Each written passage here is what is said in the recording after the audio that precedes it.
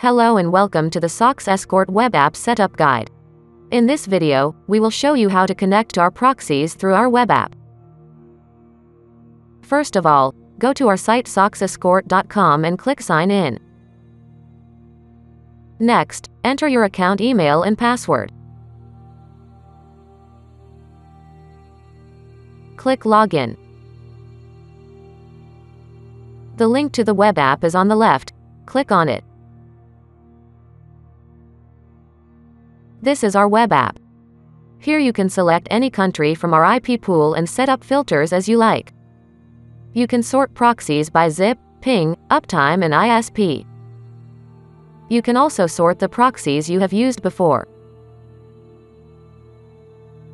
OK, select the desired proxy from the list and click Obtain. Excellent. You have successfully obtained the proxy. Now you can manually connect to this proxy with the credentials below. Or, if you're using Firefox, you can simply download our Firefox extension. In this video, we will be using the Firefox extension. Click on the extension download link above. Click Add and don't forget to allow this extension to run in private windows. Click OK.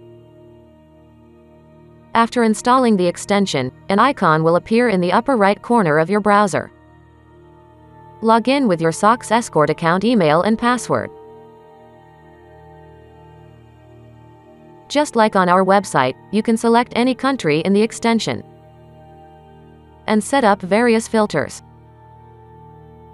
You can also see manual setup credentials here. We have already obtained an IP on our site, so there is no need to re-obtain an IP in the extension. Click on the switch at the top to connect your browser to our proxy. You have successfully connected to the proxy. Let us open a new tab and check the IP on ipscore.com.